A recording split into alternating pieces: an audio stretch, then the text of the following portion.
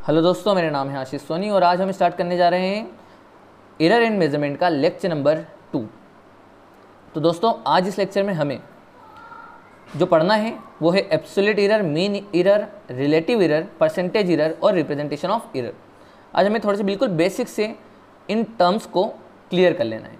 ठीक है? इसके बाद वाले जो लेक्चर में होगा हमारे पास, वो होगा प्रोपोगेशन ऑफ़ एरर जिसमें से ढेर सारे क्वेश्चन पूछे गए हैं आईआईटी में। ये बिल्कुल बेसिक है। यहाँ से क्वेश्चन कम आते हैं, मगर आ ज़रूर सकते हैं। तो हमें ये सब टर्म्स क्लियर होना ज़रूरी है। ठीक है?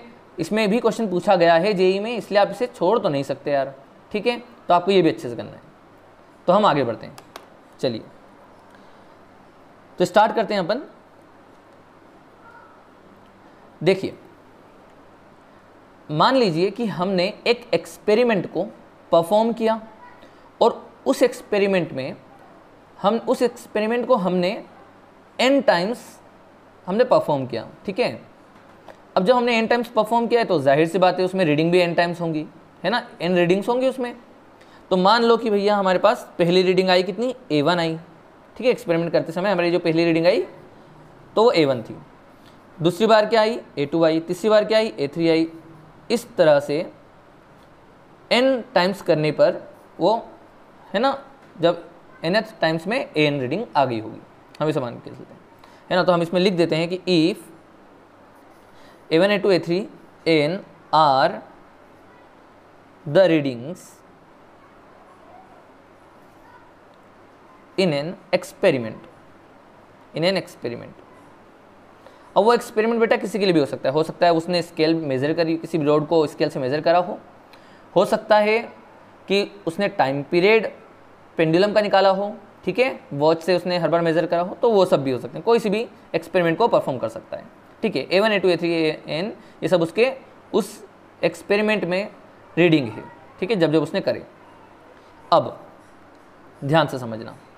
अब, क्योंकि हमें अब एक्चुअल वैल्यू नहीं पता, देखिए, कई बार तो वो क्वेश्चन में खुद एक्चुअल वैल्यू दे देगा तो उसमें तो कोई दिक्कत नहीं है। अगर उसने एक्चुअल वैल्यू दे दी तो। अब अगर उसने एक्चुअल वैल्यू नहीं दी है तो आपको क्या करना है? जो आप, देखो, अब एक्चुअल वैल्यू नहीं पता उस, की जैसे मान लो अगर हमने लेंथ मेजर करी है तो हमें नहीं पता उसकी एक्चुअल वैल्यू क्या है। तो आप क्या करोगे? आप इन सब रीडिंग का अर्थमेटिक मिल ले लेंगे, ठीक है? तो इफ़ एक्चुअल और correct value not given then हम उसका अर्थमेटिक मीन ले लेंगे। ठीक है? तो एम हमारे पास क्या होगा बेटा? कंसिडर एस करेक्ट या बोले एक्चुअल है ना? एक्चुअल वैल्यू या बोले एब्सोल्यूट वैल्यू एब्सोल्यूट वैल्यू हम उसको एब्सोल्यूट वैल्यू मान लेंगे। ठीक है? ये। तो क्या बोले हम? देखो ध्यान से। हमने बोला कि इन सब का जो मीन होगा एम से डिनोट कर रहे हैं हम अभी हम, ठीक है? हम बोल रहे हैं कि ये ए मीन है। ए मीन ठीक है? तो ये क्या होगा? A one plus a two plus a three plus up to Son up to N upon में एन ये इसका अर्थमेटिक मीन हो गया बेटा, ठीक है? इसी चीज़ को जब हम रिप्रेजेंट करते हैं ना तो हम बोलते हैं समीशन ऑफ़ ए आई और upon one by n i equal to one से एन तक। ए, यहाँ पर जो आई है ना देखो, ये वैसे मैथ्स की टर्म है मैथमेटिक्स में आप सीखते हैं। और अगर आप इलेवंथ में हैं तो बच्चे, आपको ये जो टर्म होगी, अगर नाइन टेंथ में क्लियर हो तो ठीक है, नहीं तो आपको यहाँ पर प्रोग्रेशन में भी दिखने के लिए, देखने के लिए मिल जाती है। ठीक है समीशन है ये। तो a one plus a two plus a three up to सोन इस तरह से इसका मतलब होगा। आई की वैल्यू वन से एन तक है। मतलब a one plus a two plus a three है ना? ये हमारे पास समीशन होता है तो वो एडिशन होते हैं। और वो कुछ ऐसे पाए का फ़ंक्शन जब ऐसे कुछ ऐसे बनाते हैं ये वाला जो साइन बनता है तो इसमें मल्टीप्लीकेशन होता है इसका मतलब। है ना? अगर ऐसा लिखा होता तो ये होता multiplication a one into a two into a three into a four इसका मतलब ऐसा होगा। है ना? अभी इसका मतलब ये है समीशन ठीक है? तो हमारे पास ये हो गया। इस तरह से हमको निकालना है एक्चुअल वैल्यू याद रखना हमने एक्सपेरिमेंट परफॉर्म करा उसके अंदर आ, हमने एन टाइम्स रीडिंग ली। है ना? जब हमने एन टाइम्स रीडिंग ली तो उसकी अलग अलग रीडिंग आई हमारे पास तो हमने क्या करा? उसकी एक्चुअल रीडिंग अगर दी है तो हमें कोई दिक्कत नहीं है। अगर नहीं दी है तो हम ए मीन को उसकी एक्चुअल रीडिंग मान लेंगे। ठीक। अब, आगे बढ़ते हैं। अब ध्यान से समझना। अब इरर का चालू हो रहा है। एब्सोल्यूट इरर क्या होता है? अब ध्यान से समझो। देखिए, हमने, अगर उसने एक्चुअल वैल्यू दी है तो कोई दिक्कत नहीं है। ठीक है, अगर एक्चुअल वैल्यू दे दी तो आपका जो पहला वाला जो रिज़ल्ट था तो आप एक्चुअल वैल्यू से माइनस करके देखेंगे तो आपका एरर बाहर आ जाएगा। एरर निकालते कैसे हैं? कितने की गलती हुई? सही बात है। आपने दस रुपये या दस रुपये की चॉकलेट खरीदनी थी, मान लो, और आपने उसको पंद्रह रुपये दे दिए तो आपने कितने की गलती करी बेटा? पाँच रुपये की गलती, है ना? तो आपने कितना उसमें से ज़्यादा या कम उसमें आपने दिया तो उसको हम एरर बोलेंगे। ठीक तो हमारे पास एक्चुअल वैल्यू उसकी अब ये ये वाली मानी जाएगी, अगर नहीं दी है उसने, अगर दे दी है उसने तो हमें ये निकालने की कोई ज़रूरत नहीं है। ठीक है, ये दोनों ही तरह के क्वेश्चन में कराऊँगा, याद रखना। चलिए तो एब्सोल्यूट इरर क्या होगी हमारे पास? हमारे पास एब्सोल्यूट इरर हो जाएगी डेल ए वन मतलब ए वन में अगर मैं बात करूँ तो कितनी कहलाएगी वो? A mean minus a one हमेशा इस तरह से एरर निकाली जाती है। ठीक है एक्चुअल वैल्यू माइनस जो उसके रीडिंग में आई है अभी तो उससे एरर निकलती है। ठीक है तो ये ए वन की एरर थी। अच्छा ए टू की एरर निकालनी होती तो क्या लिखते बेटा? A mean minus a two अच्छा ए थ्री की निकालनी होती तो? तो ये होती बेटा a mean minus a three अच्छा अगर मैं इन सबको ऐसे ए एन की निकालूँ तो हमारे पास इस तरह से निकलेगी। क्लियर अब, अगर हम इन सब का एवरेज ले लें मीन ले लें, अगर हम इन सब का मीन ले लें तो ये कहलाएगी मीन एब्सोल्यूट एरर क्या बोले हम? एरर निकालना एब्सोल्यूट एरर निकालना क्या होता है? ये, आपकी एक्चुअल वैल्यू से उस रीडिंग को हम माइनस कर दो तो आपका एरर निकल जाता है। मीन एब्सोल्यूट एरर का मतलब क्या होता है? आपकी जितनी भी रीडिंग के यहाँ पर एरर्स हैं, आप उनका क्या ले लो? मीन ले लो। मतलब ये, हम उसको इस तरह से ले लेते हैं। डेल ए का मीन है ना? या इसी को लिखने का जो तरीका होता है, वो हम लिखते हैं डेल ए बार, इस तरह से। है ना? दोनों का मतलब एक ही होता है। तो यहाँ पर क्या बोलेंगे हम? Del a one plus del a two plus del a three up to Son del A N. और अपान में एन अब बेटा यहाँ पर ना एक चीज़ आप थोड़ा सा ध्यान देना, जो हम बताने वाले हैं यहाँ पर। बहुत इंपॉर्टेंट है वो। ये जो आपने del one, del a two, del three, del four लिखा है ना, जैसे मान लो आपने एरर निकाली, ठीक है? तो जब आपने एरर निकाली तो हो सकता है कि फॉर एग्ज़ाम्पल कि मान लो एक्चुअल लेंथ 1.8 सेंटीमीटर थी। हमने जब निकाला तो हमारे पास 1.7 आया एक बार, ठीक है? एक बार आया 1.9 आया, एक बार 1.8 आया, एक बार 1.2.0 आया, एक बार 1.6 आया। इस तरह से हमारे पास वैल्यूज़ आई मान लो। ठीक है? तो अगर आप इसमें, ये हमने रीडिंग निकाली है ना a one a two a three ऐसे हमने रीडिंग निकाली ठीक है? तो अब अगर आप इसका एरर निकालने जाओगे ना तो देखो डेल ए वन क्या आएगा बेटा? डेल ए वन मतलब इन दो को माइनस करोगे आप, ठीक है? तो ये तो काम आया ना अभी, ये तो काम आई है इससे। तो एरर अपने पास पॉइंट वन की एरर हो जाएगी ये पॉइंट वन की एरर हो जाएगी, ठीक है? अच्छा ये वाला जो है, ये तो ज़्यादा आई है तो ये भी पॉइंट वन की एरर हो जाएगी। तो बताओ ये दोनों एक ही क्या? ये दोनों एक ही क्या? नहीं है। क्यों? क्योंकि ये 1.7 था ये 1.9 है एक्चुअली में। तो क्या हुआ कि डेल ए वन ने एरर जो है वो नेगेटिव करी और ए टू ने एरर पॉजिटिव करी। तो हमें साइन लगाना पड़ेंगे ऐसे है ना? आपको समझने के लिए यही करना पड़ेगा, साइन लगाना पड़ेगा। पर दोस्त, मेरा ये कहना है अच्छा अगर हम आपसे ये पूछते कि बेटा आपकी जो इन दोनों में नेट इरर क्या हो गई? तो आपका तो उस हिसाब से देखोगे तो ज़ीरो हो जाएगा। मगर ये यहाँ की दिक्कत है। आपको कभी भी गलतियाँ आपस में कैंसिल आउट नहीं करना है। आपको हमेशा गलतियाँ को एड ही करना है। आपको हमेशा गलती को एड ही करना है। तो ये जो हमारी गलतियाँ हैं ना, ये गलतियाँ हैं। एब्सोल्यूट एरिया मतलब गलतियाँ हैं अपनी। तो हमेशा गलतियाँ को आपको एड ही करना होता है। हम ये इसलिए यहाँ पर मोड लगा रहे हैं क्योंकि इसका मतलब है ये पॉजिटिव है सभी। ठीक है? इसलिए हमने इसको एडअप कर दिया। अब क्यों एडअप करा सर आपने? क्योंकि हमने रीज़न ये दिया क्योंकि हम कभी भी गलती को माइनस नहीं कर सकते। गलतियाँ हमेशा एडअप ही होती हैं। क्यों सर? एग्ज़ाम्पल समझो। मान लो आप ना बाज़ार से शक्कर लेने गए और जब आपने शक्कर लेने गए तो मान लो कि वो पचास रुपये किलो की थी। आपने उसे साठ रुपये दे दिए गलती से। ठीक? तो आपकी कितने रुपए की गलती होगी दस रुपये की आपने एरर करके आ गए हो आप। दस रुपये की एरर करके एरर करके आए हो। अब तुम दोबारा सामान लेने गए, ठीक है? और तुमने फिर से वापस शक्कर खरीदी। मगर इस बार आपने पचास रुपये के बदले आपने चालीस रुपये उसको दे दिए, ठीक है? और आपने उसको बेवकूफ़ बना के आ गए। अब देखा जाए तो आपने अपने अकॉर्डिंग तो सही करा कि, सर, मैंने उसको दस रुपये पहले ज़्यादा दिए थे, अब मैंने उसको बैलेंस कर दिया, बराबर हो गया। मगर क्या आपने दोनों टाइम गलती ही करी है? है तो गलत बात ही ना। आप एक बार ज़्यादा दे के आए, गलत बात है। आप दूसरी बार कम दे के आए, वो भी गलत बात है। तो आपकी गलतियाँ हमेशा एडअप ही होती हैं। आपने दो बार गलती करी। ऐसा बोलेंगे ना, हमेशा थोड़ा नहीं बोलेंगे कि आपने एक बार गलती करी, फिर एक बार सुधार दी। ठीक है, गलती आपने दोनों बार करी है। ठीक है तो गलती आपने दो बार करी है। हाँ आपका उसमें से रिज़ल्ट जो है वो फाइनली ज़ीरो हो गया है। ठीक है, पर गलती कितनी करी? तो वो दो बार है। तो हमेशा गलतियाँ ऐड होती हैं। ठीक है तो गलतियाँ हमेशा ऐड ही होंगी। ये बात ध्यान रखना। अभी आपको मैं और भी आगे इसके इलेस्ट्रेशन में समझा दूँगा टेंशन मत लो। पर अभी आप ऊपर से ऐसा समझ लो कि हमने इसमें मोड इसलिए लगा दिया, क्योंकि हमेशा गलतियाँ एड ही होती हैं। ठीक है? चलिए। तो आपके पास मीन एब्सोल्यूट क्या हो जाएगी? डेल एम जो ए एम होगा, वो इन सब का मीन हो जाएगा। ठीक है? जो हमारी गलतियाँ हैं, एक बार गलती, दो बार गलती, तीन बार गलती, इन सब का हम एवरेज ले लें तो हमारे पास ये कहलाएगा मीन एब्सोल्यूट एरर ठीक है? चलिए। मतलब एवरेज गलती हमने इतनी करी है। ये हमारी एवरेज गलती बेटा। एवरेज गलती है ये। तो अब अगर हम बात करें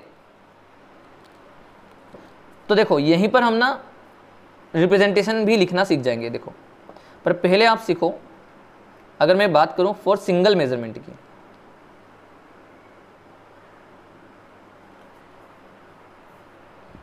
आपने कभी भी जब रीडिंग ली, कभी भी एक टाइम उसमें रीडिंग ले लिया आपने तो हम ये बोलेंगे जो आपकी वैल्यू है ना ए की, वो आप मैक्सिमम ये दे सकते थे। आपने मीन एब्सोल्यूट एरर को ऐड कर दिया अपने। ठीक है? एक्चुअल वैल्यू में आपने ऐड कर दिया। ठीक है? तो ये मैक्सिमम हो गई। और मिनिमम क्या बोल सकते हो आप? आप इसमें ये सब्ट्रैक्ट कर दो। तो ये आपके पास क्या हो जाएगा? मैक्सिमम ये वाला मैक्सिमम इरर और ये हो जाएगा मिनिमम इरर ठीक है, ये हम क्यों बोल रहे हैं sir maximum error minimum error आप क्यों बता रहे हो? जैसे क्या होता है ना, कि जैसे हम तुमसे मार्क्स पूछते हैं ना, कि बेटा आपको 360 में से कितने आ रहे हैं तो आपने अगर आंसर दिया 230 तो मैंने जब तुमसे पूछा कि बेटा एग्जैक्ट श्योर हो गया तुम 230 ही आ रहे हैं तो तुम क्या बोलते हो? सर प्लस माइनस टेन कर लेना। हो सकता है सर मेरे दो क्वेश्चन सही हो जाए या गलत हो जाए एक तो तो आप वो प्लस माइनस टेन बोलते हो ना कि मेरे सर जो रेंज है ना, वो 210 से लेकर 230 या 240 तक है। 210 से 240 के बीच में आ जाएँगे। हाँ सर, मैं इसके लिए श्योर ज़रूर हूँ। तो ये जो होता है ना, ये जो एरर है, वो होगी आपकी।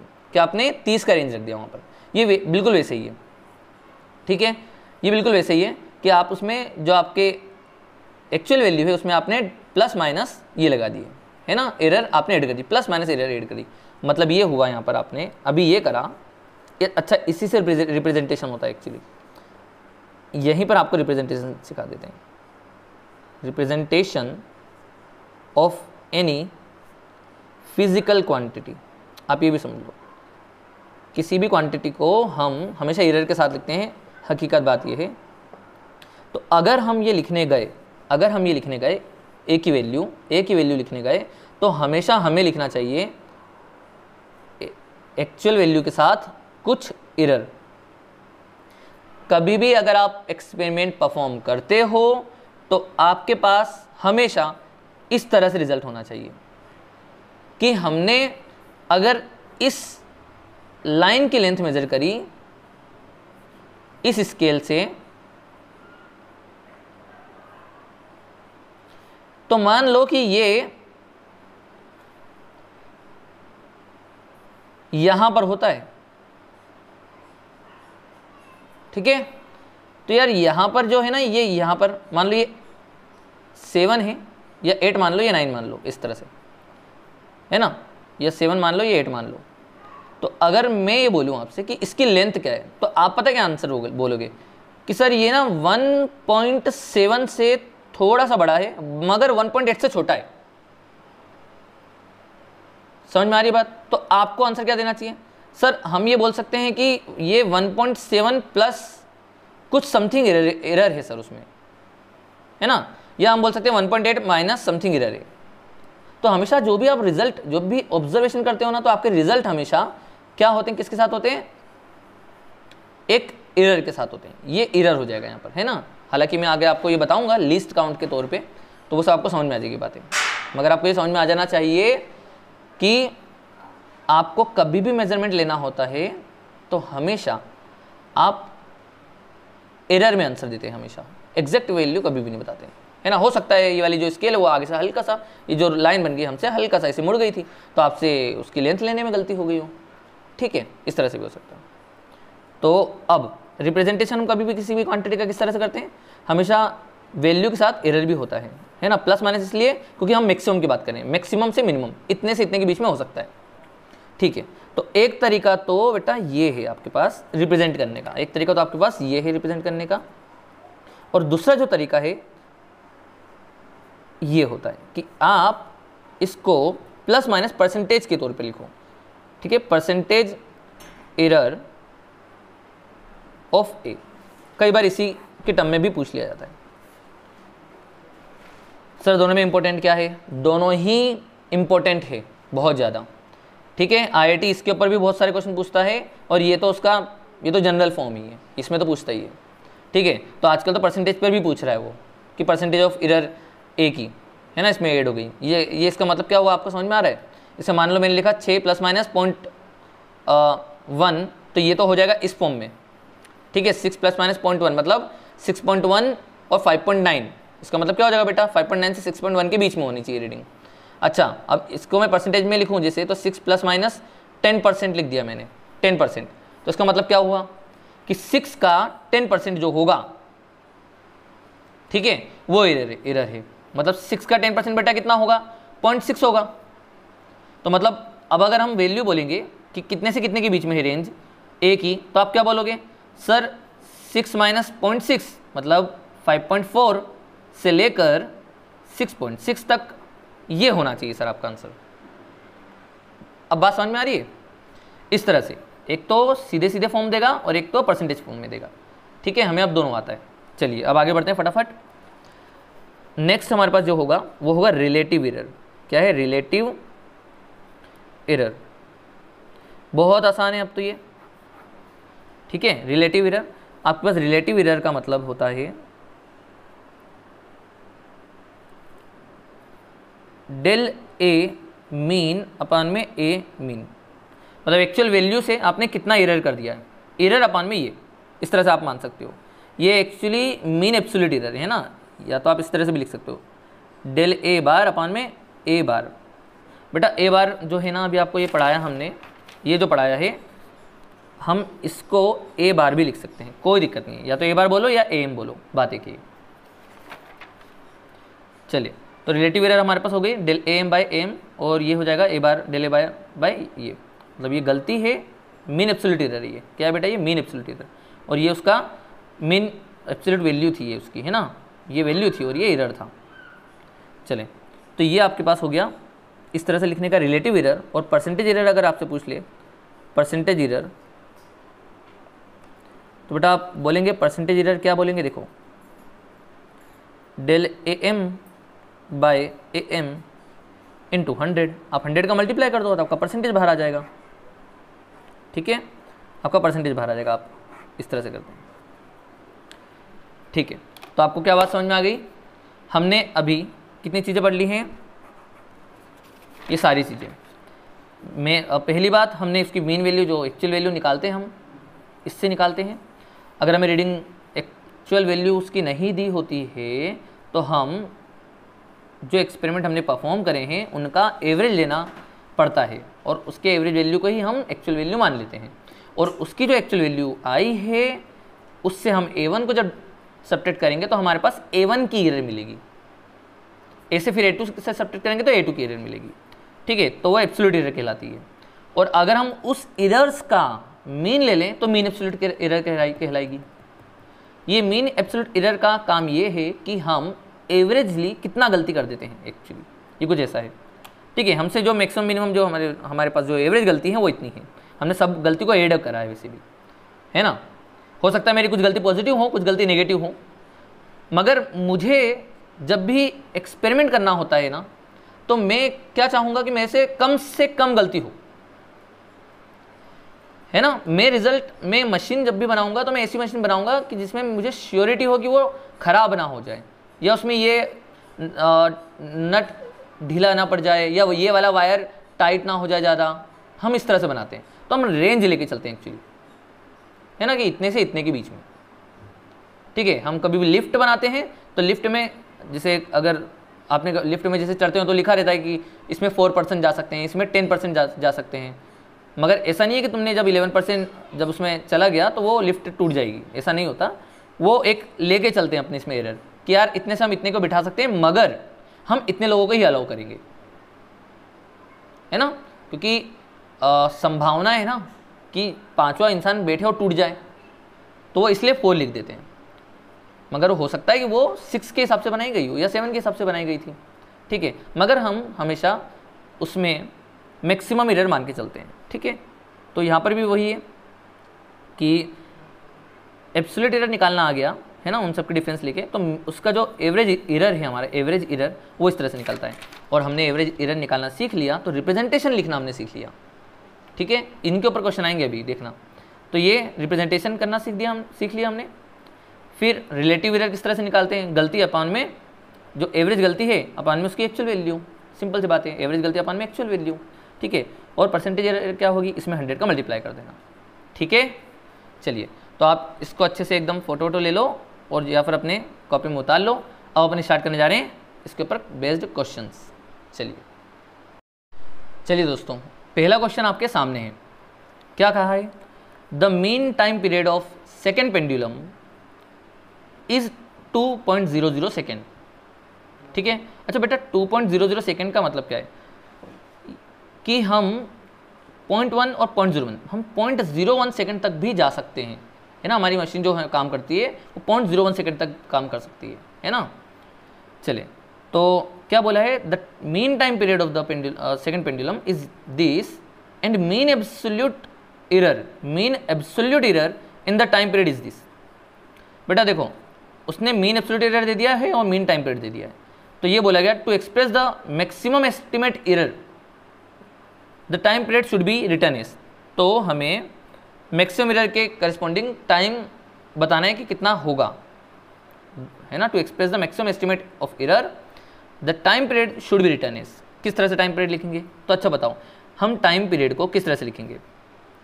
हम बोलेंगे कि भैया जो उसकी एक्चुअल वैल्यू होगी मतलब मेन वैल्यू जो होती है, हमने लिखा था, है ना? टी एम जिसे हमने बोला था a equal to m plus minus del m तो हम बोलेंगे t equal to t m plus minus plus minus delta t m यही बोलेंगे हम, जिस तरह से हमने उधर बोला था। तो बेटा आप सुनो टी एम जो है वो मेन एब्सोल्यूट टाइम पीरियड होगा। जो कि आपको दे रखा है इधर, कितना दिया है? जो कि आपको दिया है टी एम की वैल्यू कितनी दी है? Two point zero zero second और आपको mean absolute error mean absolute error मतलब डेल्टा टी का एम है ना मीन एरर का मीन ले लिया आपने, वो दिया है आपको। कितना? Zero point zero five second तो अब आपको ये दोनों वैल्यू दिया है और यहाँ पर आपको दोनों वैल्यू डाल देना है। आंसर आ जाएगा आपका। तो कितना हो जाएगा? Two point zero zero plus minus delta t मतलब zero point zero five second ये आपका आंसर होगा। ठीक है? तो आपका मैक्सिमम मिनिमम आपके पास क्या आंसर हो सकता है? आपका मैक्सिमम आंसर हो सकता है, देखो, अगर आप आंसर देने जाओगे इसे तो टू पॉइंट ज़ीरो फाइव इसका मैक्सिमम होगा और two minus zero point zero five इसका मिनिमम होगा। ठीक है? मतलब अगर आप इसे सॉल्व करें भी तो वन पॉइंट नाइन फाइव से लेकर टू पॉइंट ज़ीरो फाइव तक इसका टाइम पीरियड वेरी कर सकता है। ठीक है? ये बिल्कुल वैसे ही आंसर दे रहे हैं हम। जिस तरह से तुम बोलते हो ना कि सर हमारे नंबर इतने से इतने तक आ सकते हैं, वैसे ही है, बिल्कुल। ठीक है? चलिए। अब नेक्स्ट क्वेश्चन करते हैं। तो क्वेश्चन आपके सामने है। आप पढ़ लो आराम से। ठीक है? ये क्वेश्चन जो है जे डब्ल्यू में आया हुआ है अभी। जे डब्ल्यू में आया था 2016 में। ठीक है? जेई मेंस में आया था ये। जेई मेंस में आया 2016 में आया हुआ है। ठीक है? एक बार आप ट्राई करो, क्वेश्चन पढ़ो ध्यान से, क्या लिखा है। टाइम पीरियड, देखो, time period of pendulum in different measurement. उसने जो डिफरेंट मेज़रमेंट लिए तो टाइम पीरियड जो आया, ये ये और ये और ये आया। ठीक है? प्लस माइनस वन मतलब उसका एरर है वो। ठीक है? जिस घड़ी में आप आप टाइम पीरियड उसका मेज़र कर रहे हैं, उसमें कुछ वन का इरर आता होगा। ठीक है, इसका मतलब ये होता है। वन सेकेंड का इरर ठीक। अब find the mean time period with error बताओ। उसने बोला है कि mean time period with error ऐसे पूछा है क्या? Mean time period with error यही पूछ रहा है क्या वो? है ना? क्या निकालना है बेटा हमें? पहले तो वो लिख दो। हमें mean time period with error बताना है यहाँ पर। है ना बेटा? चलो। अब एक काम करते हैं। हमें ये सब दिया हुआ है। तो हमें पहले तो चाहिए मीन टाइम पीरियड और फिर उसके बाद एरर चाहिए। तो एक काम करते हैं, हम पहले तो सीरियल नंबर से इसे लिखना स्टार्ट करते हैं इसको। जैसे ये हो जाएँगे इनकी वैल्यू और ये हो जाएगा यहाँ पर इधर इनका एरर एरर मतलब डेल्टा टी ठीक है डेल्टा टी चलिए, सबसे पहले। एक, दो, तीन, चार। ठीक। बताइए, पहला वाला टाइम पीरियड कितना है? नाइन्टी का। दूसरा वाला टाइम पीरियड है नाइन्टी वन का। तीसरा है नाइन्टी फाइव, चौथा है नाइन्टी टू। ठीक है? तो ये टाइम की वैल्यू है, ये टाइम की वैल्यू है, ये टी दिया है इसने। ठीक है? और यहाँ पर अपन डेल्टा टी निकालेंगे। तो डेल्टा टी तो तभी निकल सकता है जब आपको एक्चुअल वैल्यू पता हो। गॉट इट डेल्टा डी आप तभी निकाल सकते हो जब आपको एक्चुअल वैल्यू पता हो। तो एक्चुअल वैल्यू निकाले कैसे? इसने तो इस तरह से दे दिया। तो हमें तो आता है एक्चुअल वैल्यू निकालते कैसे अगर हमें एक्चुअल वैल्यू नहीं पता तो हम मीन वैल्यू को ही एक्चुअल वैल्यू मान लेते हैं। तो इन सब का अगर आप सम करते हैं, चलो जल्दी से कर लिया जाए। 90 plus ninety one plus ninety five plus ninety two upon में फोर। इस तरह से अगर आप सोल्व कर रहे हैं तो आपके पास ये लगभग आ जाएगा 92 ठीक है?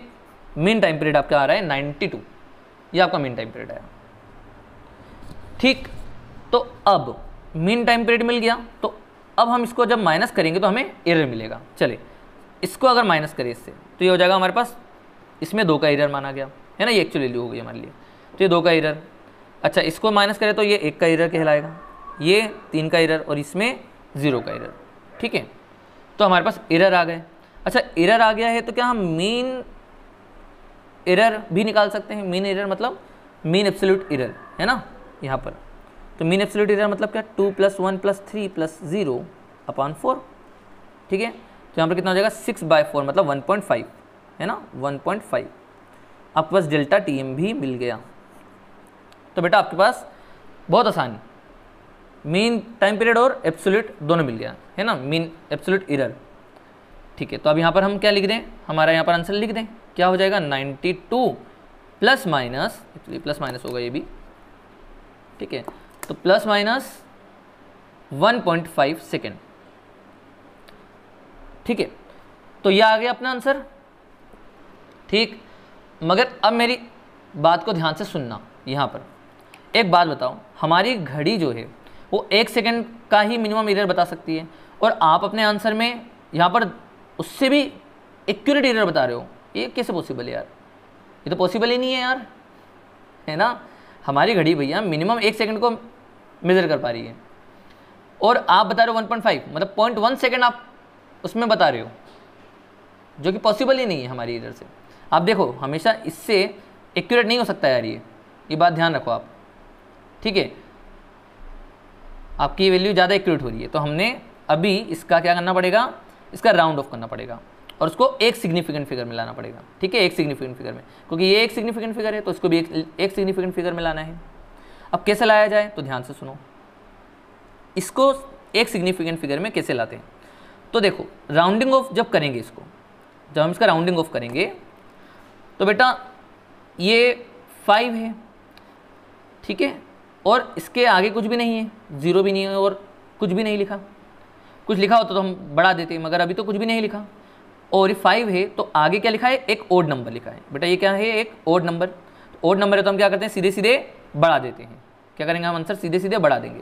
तो आंसर हो जाएगा आपका यहाँ पर 92 प्लस माइनस टू सेकेंड यहाँ ये हो जाएगा। ठीक है? ये आपका आंसर होगा। एरर आपका जो आया था, उसमें आपने सिग्निफिकेंट फिगर देखा, वो ज़्यादा है। ठीक है? आपका एक्यूरेसी ज़्यादा हो रही है पहले से मतलब उनकी एरर से भी। उनकी मशीन से भी ज़्यादा परफेक्ट चल रही है। सब पॉसिबल ही नहीं है। तो आपको क्या करना पड़ेगा इसको राउंड ऑफ़ करना पड़ेगा। और राउंड ऑफ़ करने के लिए आपने देखा कि फाइव के आगे कुछ भी नहीं है और यहाँ पर फाइव के पहले यहाँ पर एक और नंबर लिखा है। तो आप क्या करोगे उसमें एक नंबर बढ़ा दोगे। तो आपका आंसर आएगा ninety two plus minus two second ये आपका आंसर होगा। ठीक है? ओके ठीक है बेटा तो नेक्स्ट क्वेश्चन आपके सामने है। सबसे पहले आप यहाँ पर स्क्रीन पोस्ट करो। और ये क्वेश्चन खुद से करो। मैं चाहता हूँ कि ये क्वेश्चन आप खुद से करें और उसका सही जवाब दें एकदम। ठीक है तो आपको ये पूरा जितना भी कॉन्सेप्ट अभी हमने पढ़ा है, सारे का सारा आपका क्लियर हो जाएगा। ठीक है, आप खुद से करो तो आपके पास ना मतलब थोड़ा सा ऐसे प्रैक्टिस हो जाएगी आपकी अभी। तो आपसे खुद से बनने लगेंगे अच्छे से। ठीक है, बहुत आसान होता है ये। चलिए सॉल्यूशन मैं बताता हूँ अब। ठीक है, आप इसका सॉल्यूशन खुद से करने के बाद ही देखना। चलिए, क्या बोला उसने? The period of oscillation of a simple pendulum in the experiment is record as this this this this and this respectively अब उसने बोला कि मीन एब्सोल्यूट इरर ठीक है फाइंड टाइम विथ इरर और फाइंड परसेंटेज इरर बहुत आसान है यार, सब इसने पूछ लिया है, ठीक है, कोई बड़ी बात नहीं। तो सबसे पहले काम करते हैं, हम सीरियल नंबर लिख देते हैं।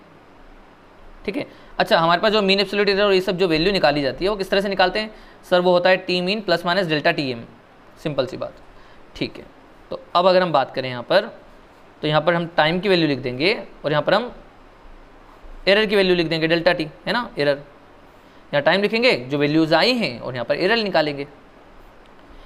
एरर किससे निकालते हैं? डेल्टा टी किससे निकालते हैं? Absolute error sir actual value minus जो भी थी यहाँ पर। तो one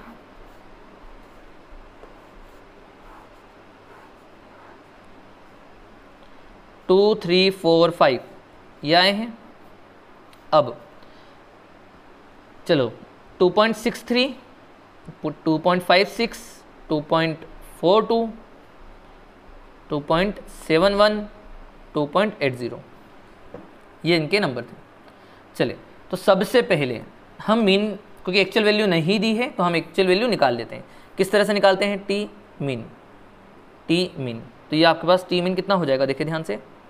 जो टी मीन होगा, हम इसे अगर देखें तो ये हो जाएगा 2.63 प्लस 2.56 प्लस 2.42 प्लस 2.71 2.80 आप इसे सॉल्व करो और 5 से डिवाइड मार के इसे सॉल्व करेंगे तो आपका फाइनल जो रिज़ल्ट आएगा, वो 2.62 हो जाएगा। ये ध्यान रखें, ठीक है? ये आप खुद भी कर सकते हो, कोई बड़ी बात नहीं है। ठीक है 2.62 बनेगा। ठीक। अब बताओ ये हमारे पास इसकी एक्चुअल वैल्यू मानी जाएगी। अब भाई साहब इरर कैसे निकाले? तो सर इस वैल्यू से इसको माइनस कर दो। तो देखिए यहाँ पर ये यह आएगा पॉइंट ज़ीरो वन का डिफरेंस ठीक है? फिर यहाँ पर से इसको माइनस करेंगे तो ये कितना हो जाएगा? पॉइंट ज़ीरो सिक्स का डिफरेंस तो सर अभी आप बोलोगे सर इसमें प्लस और माइनस तो आप लिख ही नहीं रहे। आ, मैं इसलिए नहीं नहीं लिख रहा क्योंकि मैं तो सभी इरर्स को ऐड ही करता हूँ। बात सही है ना? तो हम सभी इरर्स को ही करेंगे हमेशा। ठीक है? गलती हमेशा एडी करना होता है। तो हमेशा इसको पॉजिटिव रखो। फिर 2.4 point four two minus two point six two तो ये कितना हो जाएगा आपके पास बेटा? ये हो जाएगा आपके पास point two zero point zero nine point one eight ये आपके पास इसके एरर्स हो गए, हर एक एक्सपेरिमेंट के रीडिंग के। तो अब अगर हम इसकी एवरेज गलतियाँ निकालें एवरेज गलती कितनी है? तो एवरेज गलती कितनी है? देखो, इन सबको सम कर लो, है ना? तो नौ आठ सत्रह, अठारह और छः चौबीस, चार, एक, दो दो, चार, एक, पाँच। तो आपके पास हो रहा है ये point five four divided by five करोगे तो ये कितना हो जाएगा? Zero point one zero eight second ठीक है? ये हो जाएगा आपके पास डेल्टा टी एम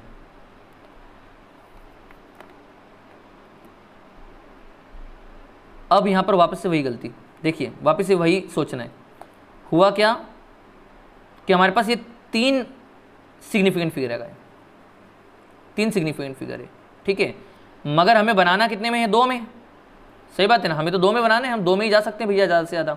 दो से बाहर नहीं जा सकते आप। तो आपको इसको फिर से क्या करना पड़ेगा? राउंड ऑफ़ करना पड़ेगा। तो फिर से आप क्या करोगे इसे? राउंडिंग ऑफ़ करोगे। तो बेटा, अब राउंडिंग ऑफ़ कैसे करें? जल्दी से बताइए, क्या आंसर आएगा? यहाँ पर एट है तो एट को हटाएँगे तो यहाँ पर क्या बनेगा? एक बन जाएगा, आगे बढ़ जाएगा, ठीक है? तो आपके पास क्या बन जाएगा? जो डेल्टा टी एम है, डेल्टा टी एम वो आ जाएगा ज़ीरो पॉइंट वन वन ये आपका आएगा डेल्टा टी एम फिर तो क्या आंसर खत्म हो गया। क्यों? अब इसमें वैल्यू डाल दो आप। टी एम कितना था? Two point six two plus minus delta t m कितना बेटा? Zero point one one second ठीक है? तो आपके पास, ये आपके पास टाइम होगा। ये आपके पास आ गया टाइम। ठीक है? चलो, जल्दी से परसेंटेज इरर निकाल दो आप। परसेंटेज इरर कितनी होगी? परसेंटेज इरर ऑफ़ टी चलो, निकाले कैसे करें? तो क्या बोलेंगे? गलती अपॉन में एक्चुअल वैल्यू तो गलती कितनी है? क्या बोलते हैं हम formula delta t mean upon में टी एम हम ये बोलते हैं फॉर्मूला है ना? इन टू हंड्रेड याद होगा।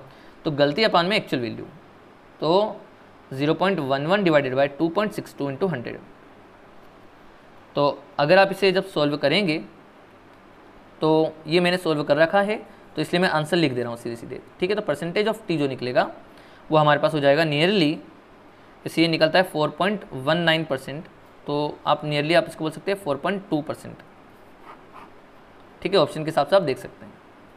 ये आपका आंसर आ जाएगा। ठीक है? चलिए। Thank you